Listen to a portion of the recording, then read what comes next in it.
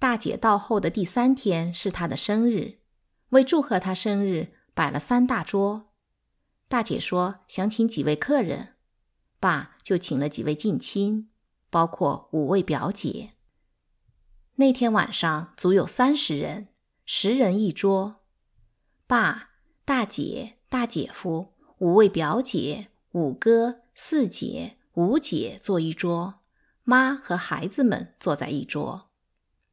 整个晚宴只听大姐一人在说，爸和表姐们偶尔插上两句。大姐显得特别高兴，其实她真的很快活。晚饭后，我跟着大姐到客厅去吃茶点水果。孩子们大都睡了，妈下午让我打了个盹儿，所以我不困。你看我们家多热闹，大姐对姐夫说。孩子这么多，哪儿都能听到欢声笑语。你家院子也挺大，可房子大多空着，一天到晚死气沉沉的。要那么大院子有什么用？大姐转向爸说：“我常说，听小孩哭都比听大人说话舒服。他们毕竟单纯，无忧无虑，难怪祖宗把人丁视为第一鸿运。”冯表姐打断大姐的话头，说：“我看不见的。中国人那么看重钱，可有多少父母不得不眼看着自己的孩子死掉，因为他们穷。所以说，养得起就多生。我们家有那么多孩子，只可惜没几个秃小子。闺女大了都得嫁出去，我这些妹妹们一结婚，家里也就冷清了。爸。”六妈有个儿子留给了他妈，是真的吗？他说：“姥姥舍不得孩子走，他得待在姥姥家。”爸说：“他几岁了？”大姐问。“快六岁了。”六妈回答。“该上学了。”大姐说：“有钱人家的孩子六岁该请先生教书了，你该让他今年就念书。跟你妈说说，明天就把他接来。”就说他大姐想见他，告诉你妈，六岁的孩子该学四书五经了。爸，你是什么时候学的？我是六岁开始学的。爸说，你儿子也该这时候学，他得步你之后尘。我是他大姐，得帮帮他。我们尽快接他来，要不明儿早晨、下午就可以见奔先生了。晚上我们庆贺一下，你看怎么样，爸？明天我没事，你要是愿意，就把他接来。款宴我看别麻烦了。爸说：“怎么着也得意思意思。我记得《论语》中讲，有一次子贡要把告祭祖庙的活羊弃之不用，子曰：‘赐也，尔爱其羊，我爱其礼。’孔子都讲形式。”我们天生就是享乐的，酒又能助兴，你说呢？大姐说：“俗话说，当官的喂嘴，做贼的喂饱。”五妈说：“当然，可以说活着就是为了吃饱肚子。”大姐说：“你脑子可真好使，要是在西洋，准能当个大思想家。”冯表姐开玩笑说。我可不懂什么是思想家，没学过这词儿。不过我相信他一定是了不起的人，熟知人情世故。言归正传，明天怎么着？爸已经答应摆一桌，就这样啦。明天记着来，为给爸省点钱，就不发帖子了。三妈坐在大姐旁边，一句话也不说。大姐突然注意到她，说。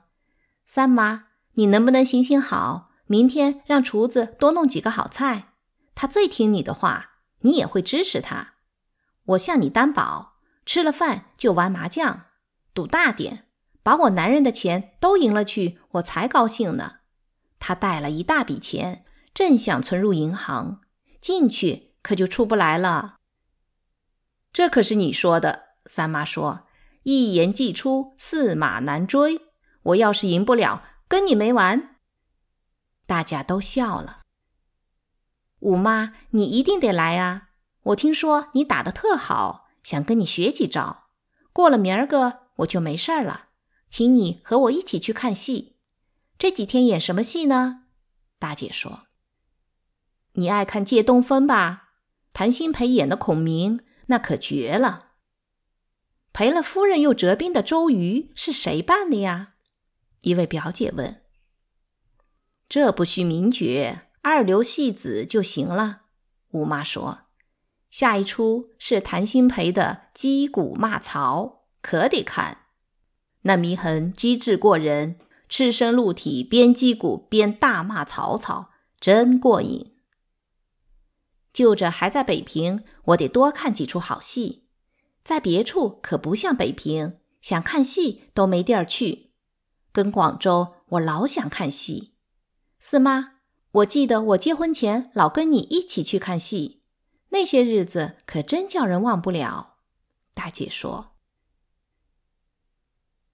第二天，那个小男孩从他姥姥家接来了，家里庆贺了一番，近亲还送给他好多礼物。爸带着他去见奔先生，他跪在地上磕过头，就算拜师了。奔先生每天教他认字，可他对学习一点兴趣没有。虽然大家伙儿都说他六岁，可他看上去就像有八九岁了。我听到过佣人在背后嘀咕他，在孩子们中，他可算够笨的，经常走错门，像个愣头青。第三天早晨，我在妈屋里玩木偶。五妈在帮妈梳头，他们谈起昨天的事儿。这出戏演的可真不错，人人尽知。妈说：“锣鼓家伙都备齐了，就等角儿入戏了。”小六怎知道大姐这么好说话？妈问：“今年春天，小六进香拜观音的时候碰到了大姐，当然，老爷早就去信提到小六。”他俩很快就成了知心人。那傻小子长得跟他爸他妈一点也不像，而且也不像六岁的，声音挺怪，跟个爷们似的。吴妈说：“昨天玩麻将，大姐还真帮三妈从她男人那儿赢了不少钱。”妈说：“反正是羊毛出在羊身上，老爷是只羊，他们什么时候想拔都可以。”五妈说：“你知道，老爷昨天让大姐答应帮他照看他在广州城外的花园。”五妈问：“我什么也不知道。再说，我又不想去住那大花园。”妈说：“如果都像你似的无所谓，也就不会吵了。”五妈说：“我不明白有什么好吵的。男人一顿就吃两碗饭，晚上。”当然只能占一房，妈说。